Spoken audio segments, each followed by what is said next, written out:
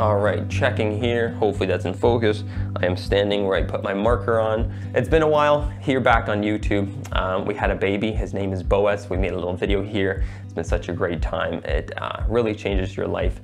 Um, it's been wonderful. Being able to stay home, being able to be with my wife, doing things with her. Um, but it's great to make another video here for you. We're gonna be taking a look at something very exciting. I love it. You love it. Everyone loves it. It's the anamorphic look. Now, we all know that anamorphic lenses are very, very expensive, and before we get started, I just wanna say that I am not claiming to know anamorphic lenses or be an expert in anamorphic lenses. I just really like the anamorphic look. So we're gonna be looking at how to replicate the characteristics from an anamorphic lens digitally in Premiere Pro. So we're looking at four things, or three, four, four things, four different things that we're gonna be able to replicate on the computer. The first one being the chromatic aberration that you see on the corners of the videos. You'll notice that a lot of anamorphic footage has the chromatic aberration on the edges. So that's the first thing we're gonna replicate on the computer within Premiere Pro. The second one, uh, yes, the soft edges. We all love the soft edges, that anamorphic lenses have it. A lot of vintage lenses have this already. So if you can use a vintage lens, I have this one here. This is a Sonnar from my grandpa. It's a 50 millimeter Zeiss. I have another one here that I like shooting with a 35 millimeter. I like doing those. Those ones already have a lot of soft edges. So if you can get your hand on something like this, something that's got a uh, a vintage look already to it. Sometimes they have already soft edges, but if not, we're gonna be looking at how to do that on the computer. The third thing we're gonna be looking at how to do is the edge distortion that happens within anamorphic. You'll notice in a lot of anamorphic films or anamorphic looks, you have this almost like a bulge, I guess bulge in the middle that happens, but the edges seem to look like they're bulging. If you look at um, buildings or any straight lines, they kind of have a bulge at the edge. So we're gonna look at how to do that through um, Premiere Pro. And the last thing we're gonna be looking at is the aspect ratio. How to do that within Premiere without actually baking in your black lines like we see a lot of footage um, doing, just putting in those black bars, the PNG file. That's not the best practice unless you're doing like a vlog and then you want to switch over to a, uh, cinematic sequence, anamorphic look, and then you want to switch back to 16 by 9 then I guess you do it. But um, if you want to be able to do it properly, rather than baking in your uh, black lines, we're gonna be able to do that crop within Premiere Pro. All right, so let's go ahead and jump into the computer. Remember, the files are in the link in description if you wanna just download those. The whole template's gonna be there, the different presets and different things like that. You'll notice that I had to put a $5 um, price tag on it. That's just because the file restrictions in Gumroad. Um, I had to put at least a dollar amount, but I'll put a coupon code right here that you can just use that, put it, copy and paste it, download it. You can do that right within Gumroad and get it for free. So you can probably create it while we do it on the computer if you'd rather create it yourself, or you can just download it because you know I made it for free and it's there for you and I made it for you. So hopefully you can use it. You know, you can thank me by subscribing and liking the video and all that good stuff. All right, let's go ahead. All right, so the first thing we wanna do is go to gumroad.com forward slash Andrik Langfield. The link will be under the description below um, you want to go hit this one and we're going to add it to the cart. Once you do that, you're going to go check out and then make sure you enter your information and then the discount code is Andrik forward slash, uh, or not forward slash, just dash free.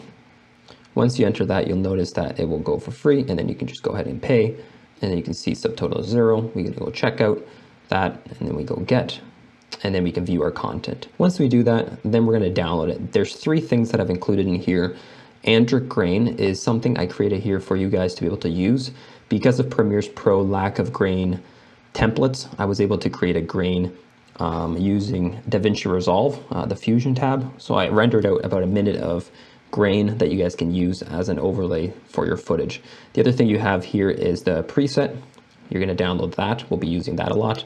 And then the sample footage. That's the footage that I use here as a transformation. You can use your own footage, but if you want to use this one, you can transform it from that to that. I already downloaded it to my download folder here, and we have them here. So we're gonna install them now to Premiere. So we're gonna go over here to presets, right click, and you're gonna go import. Then we're gonna go over to my downloads, select this, and then you're gonna import that as your preset. As you notice, under preset, now we have Andrik Langfield and anamorphic, and that's the folder we're gonna be using today. Now let's import our footage. We're gonna double click under, where to go? Project, and we're gonna import these two. Once they've imported, you're gonna grab the sample footage, which is 4K, and you're just gonna drag it over either to the timeline to create a new timeline based on that, or you can drag it to this icon there. I'm gonna drag it over to the timeline. Once I do that, I have a now a sequence. We're gonna rename this so I know what it is, and that is my footage. Now we have our footage here and we can scrub through it. And we'll notice that it's there and then it switches to a second shot and that is our footage that we're gonna be using.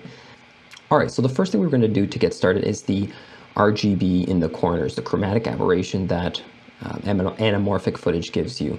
So by doing that, we're gonna do Alt, hold Alt, and then you're gonna drag up and drag up one more time. We're basically copying it three times so that we have three different layers, one for R, G, and B, um, red, green, and blue. We're gonna go to our effects and you're gonna go to the chromatic aberration. And as you can see, they're already labeled one, two, and three. So the top layer will be red, which we're gonna drag over. As you can see, it's turned into red. Green will be our middle one, and then bottom will be blue. For those at home that want to create this preset, you can go to your controls tab over here. And all I'm doing here, you'll notice that it's the color balance. Okay, you can find the color balance under your effects. It's the RGB one under image control. You can just drag that over. The next thing that I did is underneath each one, I set it to 39 so that it evenly divides between the three. As you see, 39 for that one and 39 for this one. And the same thing for the red, 39 there. You can just set them to 100 each if you want to, and then it'll eventually, uh, Premiere Pro um, turns it into 39 as it divides it. The other thing that I did is added to the blend mode. You have to make sure that it's this linear dodge. If it doesn't, it'll do weird stuff, as you can see. We wanna make sure it has a linear dodge so that we can see all three layers. I'm going to go to the scale and we're gonna do 100.4. Now that basically zoomed it in just 0.4. As you see, if I zoom it in, I'm zooming in the top layer. So you'll see that it zooms in from the outside and the middle stays basically intact. As you can see now, we've got a little bit in the corners and it's creating this aber aberration effect. The second one, we're gonna do half of that. So it is going to be 100.2. And that's just gonna add a little bit of yellow to the corners so it's not as harsh. So that's the first thing we're gonna do. Now that we've done that, you wanna be able to highlight all of these, right click, and select nest. Okay, we're gonna give it a, let's just call it nest. This is our new sequence here of our nested file. If you wanna see what's inside, you can just double tap it. It'll open it over here and that's those video files. So I'm just gonna close that. Now they're all three combined into one long clip, which has the aberration. We can go to their second clip if you wanna see it and notice that it does have it right in the corner right there, whereas it didn't before. The next thing we want to do is the warping. So if you go into the presets, I've already created them here. Go to the anamorphic. And the next thing we're going to do, actually, we're going to use the soft edges first. We're going to start by the soft edge, and I'll explain why. You use the soft edges first, and that's just going to add a Gaussian blur to the whole image. You'll notice that all I did was create a Gaussian blur and put it to 20. That's all I did and we're going to need to remember to add mask. As you notice, just a reminder, if not, the whole thing will be blurry. So we need to add a mask, which is just by clicking this one. And now we've created a mask. As you can see, the blurriness is inside, not outside, so we need to inverse it by clicking the inverted. Now everything outside is blurry. So I'm going to make sure that this spans across the image and then to the top. I'm going to keep a little bit so that I have a little bit of blur on the top. And I'm just going to bring that down because I don't want myself to be blurred. Now we're going to feather it. By turning our feather up, we're just increasing that there. And we're going to bring the expansion out. Oops, the other way. Just so that we can find just the right edge in combination. Let's make this a bit bigger so that we can see what we're doing. As you can see here, if I remove it, Notice the edges right about here. It's going to get not blurry and just blurry. It's just very, very subtle. If you want more of it, you can go to the mask and just bring the mask down so that we can blur that up a little bit more. Maybe it's got too much feather. Let's bring that down a little bit. Let's take a look at that now. That's looking a lot better. I really like that. Okay, the next thing that we're gonna do is number three, which is lens curve. By dragging this one on, it is important to notice that we put it below the Gaussian blur, and I'll, and I'll show you why. If we put it before the Gaussian blur, what the Gaussian is going to do is going to blend the white and this um, picture. So you're going to have a little bit of a white edge. If you put it after, it's going to just blend the black. Let me make this a little bit harsher so you can notice what I'm talking about.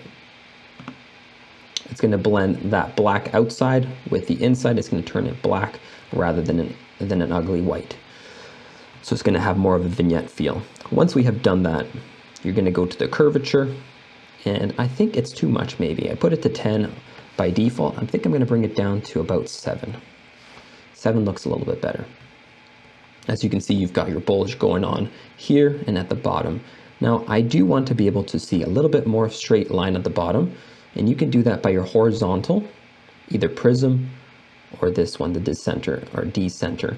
I'm going to bring that down just a little bit so that it's the straighter at the bottom. I can, of course, go too much, and you can see the effect and what it's doing. So I just want to go down a little bit just so that the bulge is happening at the top and not so much where I am walking. The next thing we're going to do here is we're going to, of course, zoom it in by bringing up your scale. What I like to do is just tap on it and click your up key to be able to slowly bring in the zoom to where you cannot see any more white in the corners, which is right about there.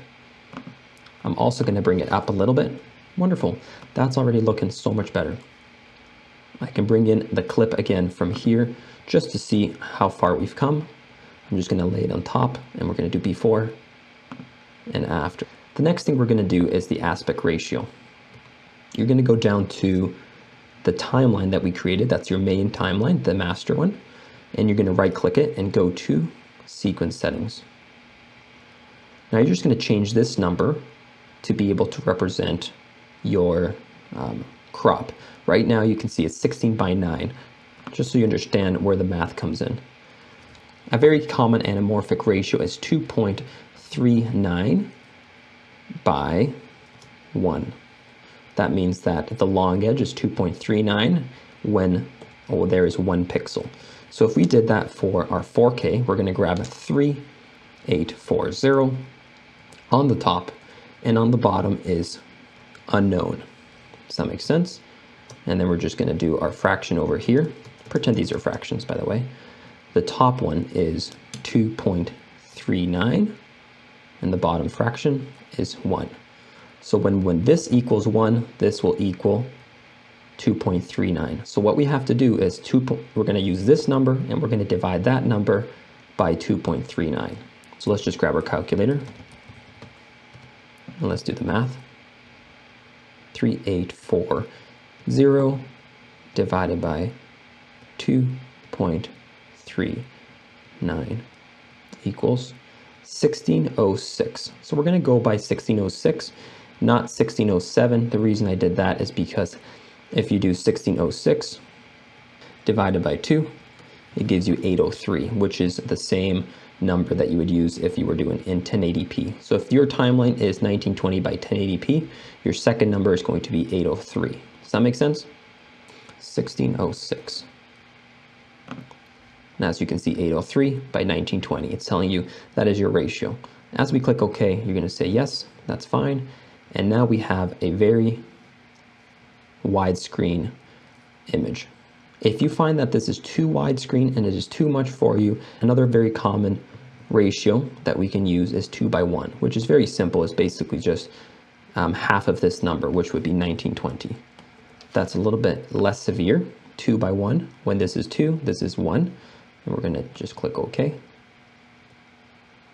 And that's a little bit better, not as severe and that's the one I'm going to use because I really like the top um, windows in the image. Now let's go ahead and click our nested folder or nested file and we're just gonna readjust it so that we can see a little bit more of me walking.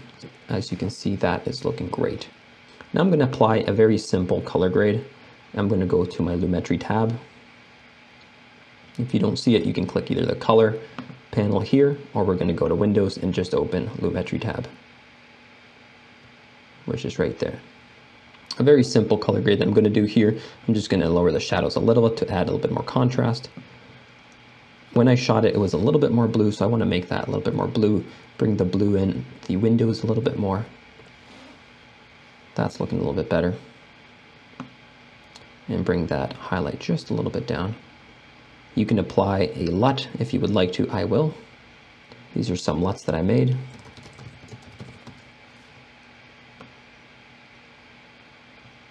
That's looking great. I'm also going to turn the intensity down to about 50. Let's take a look at our image. That's looking really, really nice. Let's look at the before and the after. I really like that. Another thing that we can do is add a little bit of a vignette by going down here. I'm gonna just turn it down a little bit just to add a little bit of vignette. Maybe that's too much, right about there. Let's look at it before and after. You have to remember that very subtle changes go a long way rather than doing very severe things. You can see that very subtle changes will help a lot. The last thing we're gonna do is just add that grain that I created for you guys just by dragging it over and we're gonna pop it on top. Hit C and we can crop that and get rid of the rest. Now as you can see this is just a footage that's just happening on top. So we're gonna change the blending mode under effect control and we're gonna change it to, you can do either multiply, but I like soft light. As you can see, the grain is just very subtle in the back and some of the edges here, and it just adds that extra little bit. Once you're ready to export, I'm just gonna delete this. We can see the before and the after, which just looks so much better. I'm gonna delete this here, bring my grain down. All right, and now we can see here the difference that the clip we have transformed it to look very anamorphic. Just to recap what we've done, we've added a blur to every corner by using that mask and the Gaussian blur, a vignette on the corners. We also added the chromatic aberration, which was very, very subtle. Then we also added the distortion to create that bulge, the anamorphic lens distortion that it creates. We also added a little bit of grain on top of it, do a very light color grade that we did there and then we're going to export it. You can, you can hit Control M to export it, make sure your settings are correct, and then hit export, and then that is it. All right, well, I hope that was a help for you. I hope you're able to learn something on this tutorial and you're able to use these tools. Make sure to tag me if you ever use these tools. I would love to see what you guys come up with. Uh, make sure to subscribe to the channel and like the video and be able to share it to your friends so that other people like you can use these tools also. I hope everybody has a great week and I look forward to the next video.